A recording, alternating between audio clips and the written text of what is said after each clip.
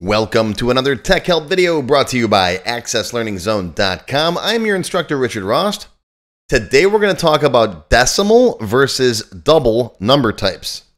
Lots of people ask me why they shouldn't use the decimal type, and that's because, well, decimals, it's, it's cool, it has its place, but you got to know how to use it. There's some specific things you have to, to know to use a decimal number type properly. So we're gonna we're gonna talk about that in this video. All right, this question comes to me from Avery in Burlington, Vermont, one of my platinum members, but I literally get asked this probably once a month. Avery says, I'm new to Access. I create a field to hold the number of gallons of fuel a particular vehicle used and selected the decimal data type, which a lot of people do. They see decimal. Okay, all right.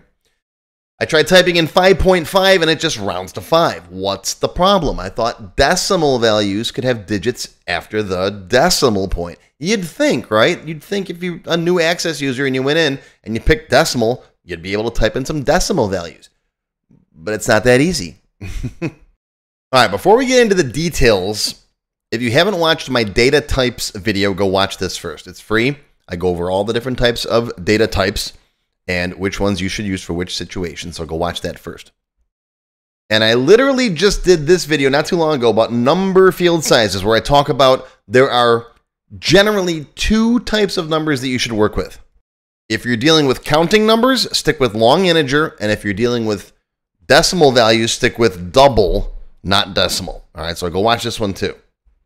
And of course, I also talk about this topic in my free four hour long Access Beginner Level 1 class. So go watch that too. Okay, but here's the problem. I see a lot of people do this. You come into your table, let's say the customer table. Let's go into the order table. We use customer table all the time. And you want to put the number of gallons down here. Okay, gallons. And so you come over here. All right, you need a number.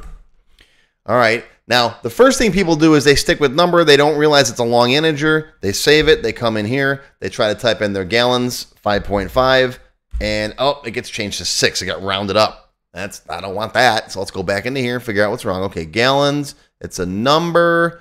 Let's drop this box down here, and I say, oh, there's decimal, right? Decimal's got to that's got to work. Got to let me have uh, values after a decimal point, right? That's the I mean, it's right in the name, decimal. So let's give that a try. Save it. Come back out here. Let's come back over here. I got to put 5.5 in, and ah, ah, it chopped it off to five. What's going on here? 1.1. Like, why can't I put any decimal values in a decimal field? Well, this is why. If you go into here, you go in the properties, you'll see there's two properties right here called precision and scale. Now, decimal values, like I said, they have their place. Their place is for like really advanced scientific stuff or, or super duper accounting people or mathematicians. Okay. You can specify the total number of digits in the number, which in this case, the default is 18. And you can specify the scale. The scale is how many digits you get after the decimal point. Now, I think it's dumb that Microsoft defaults that to zero. I'd like to see that at least maybe three. All right, the total for the two of those, the, the biggest value you can have is 28. Okay, so you're basically saying now I can I can have three digits after the decimal point. All right, save it now. Come back out here, and now I can type in 5.5, and I'm good. Okay, I can type in 5.666 and I'm good. But I can't type in 5.9999, it'll get truncated off. Okay? Now, my advice to you, if you're a beginner, is to stick with double. They're easier to deal with, they're a lot more universally accepted. Okay? You got to know what you're doing to work with the precision and scale of a decimal type value. And especially if you get into any kind of other calculations or programming, whatever, doubles just work better in most cases.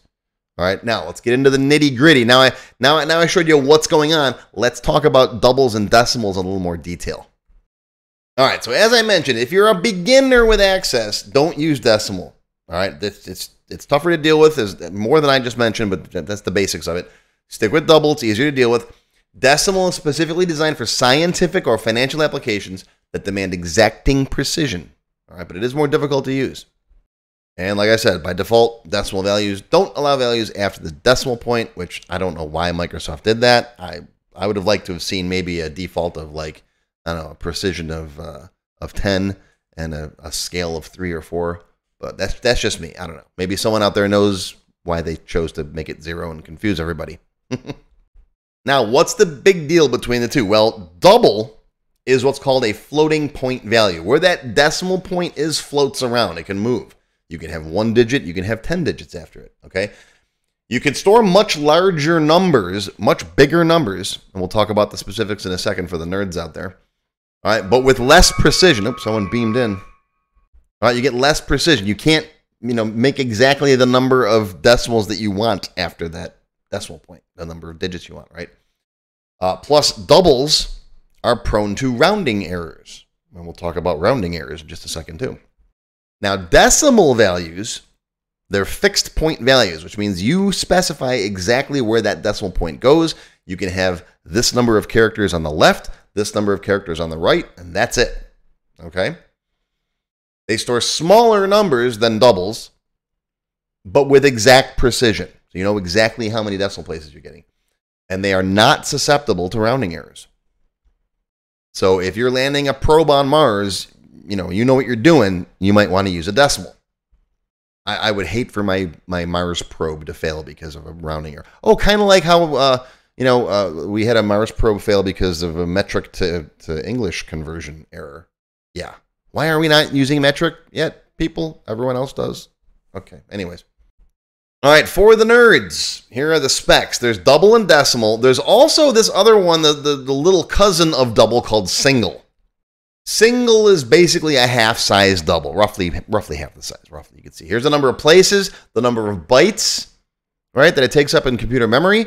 There's the range, plus or minus 3.4 times 10 to the 38th power. That's what that means there. It's a pretty big number, right? 3.4 with 38 zeros after it, okay? Well, 3, 3.4 times 10 with 38 zeros after it. So it's a, it's a pretty big number. Doubles can go much bigger. 308 zeros after that, right? And they can also hold really, really tiny numbers too. These aren't the exact precision, but it's it's one over some crazy large number like that too. So you can get really, really close to zero as well. Okay? These are both floating point numbers though, so they're prone to rounding errors. Whereas decimals, they take up more space, 12 bytes, but it's 9.9 times 10 to the 27th power and it's fixed. So you can specify exactly what kind of precision you're dealing with. Right? Why would you want to use a decimal value? Well, scientific applications, right? You need exact calculations down to very small fractions with existing specifications. Accounting, right? You're dealing with specific fractions of a penny. You don't want any of those uh, Superman 3 slash office space rounding errors, right? Or you're a mathematician. I don't know. Mathematicians like things exacting, even more so than accountants do. All right, so the max precision of a decimal value is 28 digits on the left and right. Okay, and you can specify the scale, which is the right side. Uh, these were introduced in Access 2000 and later. So if you're still using Access 97, I don't know why you're even on YouTube. Um, they store exact numeric values and they are not susceptible to floating point errors. Now, What's a floating point error? Well, this is pretty fun. Let's do this. You ready? All right, let's turn this back into a double real quick. And let's call it D. All right, D, we'll make this a double. Dub, dubba? What's a dubba? Double. Okay. Save it. Come back in here. It's a double. All right. Let's create a query. Create query design. Bring in that order table. Bring in D. Okay, run it. All right, there's our double. Okay. Now, in the query, we're going to calculate d minus 1. So right next door here, we'll call it x, and we'll say it's d minus 1. Okay, run that now. All right, that looks good. That looks good. Values like 100, that works fine. Negative 90, that works fine. Okay. Now try 1.001. All right, 1.001. Eh. As you can see, that is not correct. Okay? It can't, literally can't subtract 1 from 1.001. That's a floating point error. It's rare, but it happens. And like I said, for most applications, eh, it's not going to cause that big of a deal. But if you're dealing with, you know, something scientific and you're landing a probe on Mars, you might not want to have to deal with that. Okay, now do the same thing with a decimal with scale of three. So let's do the same thing, but let's switch it over to a decimal value. All right, so come back in here. Oh, not in the query. Leave the query alone. Let's let's let's save the query. All right, we'll just save this as Q. Hello, Q. All right, let's go back into here, design view. We're to change this now to a decimal. All right, let's make it 18 with a scale of 3. Save it. Now you get the some data may be lost because doubles can be much, much, much bigger than decimals. So it's warning you, hey, if you got numbers that are too big for this, they're going to get truncated. You sure you want to do that? Yeah, go ahead. Now let's take a look. All right, all of our values look normal. That's fine. That's what we had before. Let's run that query now. And oh, look at that. It was able to subtract 1 from 1.001 because it's got exact fixed point decimals in there. Okay? So I hope that I hope that shows you, you know, if, if you need exact, you know, specific number of decimal points, go with a decimal. All right. Now, double does have some other problems. In older pre 2003 versions of Access, doubles had some issues. They wouldn't sort correctly in descending order. I don't know why, but they didn't. And uh, doubles wouldn't export correctly. Sometimes they, they got changed into text values. But I've just tested both of these, and it's currently 2023, and this doesn't seem to be a problem anymore. And I don't mean to, uh, you know, drop the hammer on doubles. I use doubles. I don't. I, I really don't. Haven't built any applications where I've needed a decimal. I don't do anything super scientific though. If I'm if you're working with numbers, first of all, you should use the currency uh, data type for money. If you're going to be working with money, use currency. It's specially optimized for money values. All right, but doubles they're easier for beginners to work with. You know, most functions are, are will, will more readily accept double than decimal values. Um, floating point errors, even though they're possible, they're rare. It's not going to come up all the time. Uh, doubles are faster and take up less space, although with modern computers, that's really not a big deal unless you got millions and millions of records. And they do store really, really ridiculously good looking. Oh, no, that's a different movie. They store really, really ridiculously big or small numbers. I mean, again, I've never had a need for numbers that large in any practical database. So even even the scale of the small, even the scale of the smallest one, the, the, the singles are, are just fine for me. So and oh, one more thing about decimals. There is no decimal data type in VBA. So if you're doing any programming, another reason to stick with doubles because you can use doubles in VBA. If you got a decimal, you got to use a variant for it or convert it to a double with the CDBL function. So there you go. There's the basics of why you should stick with double unless you absolutely need a decimal, right? If that scientific precision or accounting precision is important for you, or whatever numbers you're working with and you know what you're doing, then use a decimal. If not, stick with double. There's two types of numbers you should use. Long integer and double. Just just worry about those, don't worry about any of the rest of them and use currency for money stuff. Okay? You got it? Okay. All right, so that's going to do it for today, folks. There is your tech help video. Hope you learned something. Live long and prosper, my friends. I'll see you next time. If you enjoyed this video, please give me a thumbs up and post any comments you may have below. I do try to read and answer all of them as soon as I can. Make sure you subscribe to my channel, which is completely free. Click the bell icon and select all to receive notifications when new videos are posted. Want to learn more? Click the show more link below the video to find additional resources and links. YouTube does a pretty good job of hiding it. It's right down there. See this part of the description here, right? The name, the video's up here. There's a little show more down there, right down the bottom. It's kind of hard to find.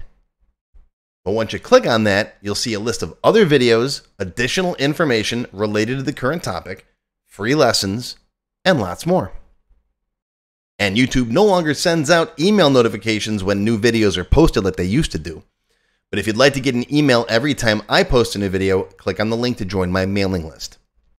And you can pick how frequently to get emails from me, either as they happen daily, weekly, or monthly. Now, if you'd like to become a paid member of my channel and receive all kinds of awesome perks, click on the join button.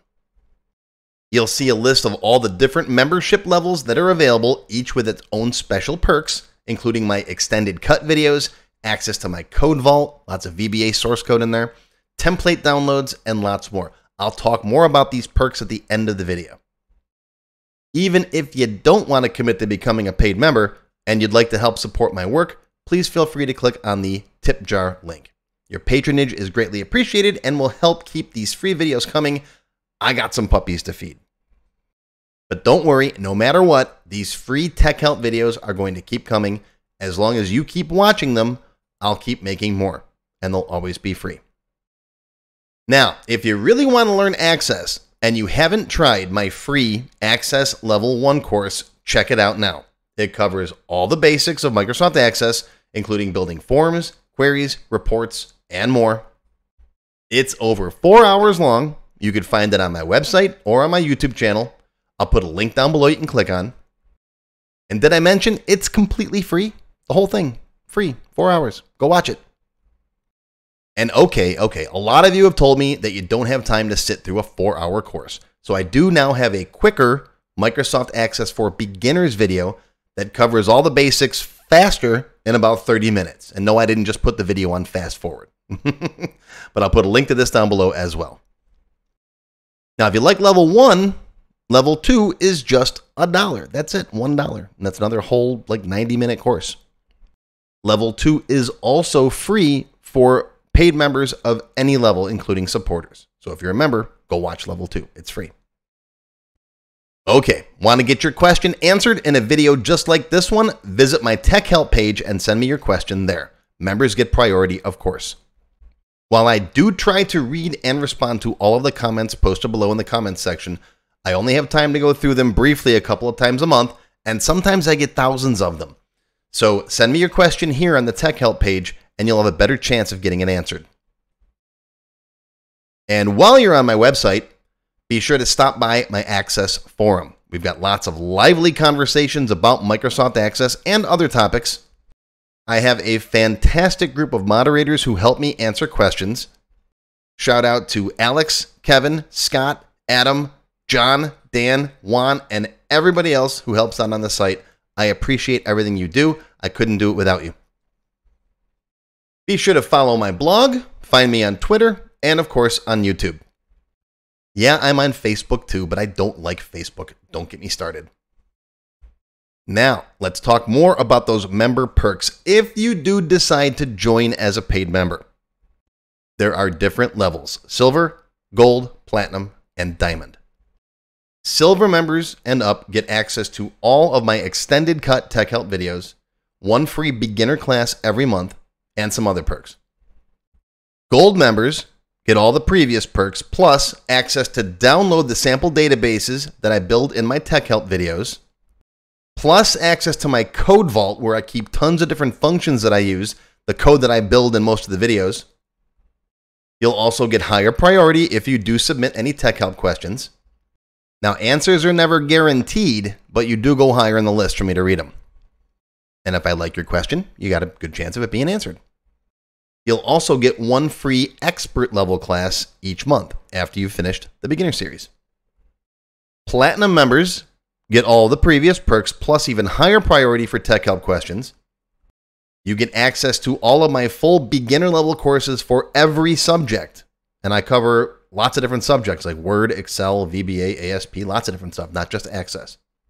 These are the full length courses found on my website. You get all the beginner ones. In addition, once you finish the expert classes, you get one free developer class per month. So lots of training. And finally, you can also become a diamond sponsor. You'll have your name or your company name listed on a sponsors page that will be shown on each video as long as you're a sponsor. You'll get a shout out in the video and a link to your website or product in the text below the video and on my website. So that's it. Once again, my name is Richard Rost. Thank you for watching this video brought to you by AccessLearningZone.com. I hope you enjoyed. I hope you learned something today. Live long and prosper, my friends. I'll see you again soon.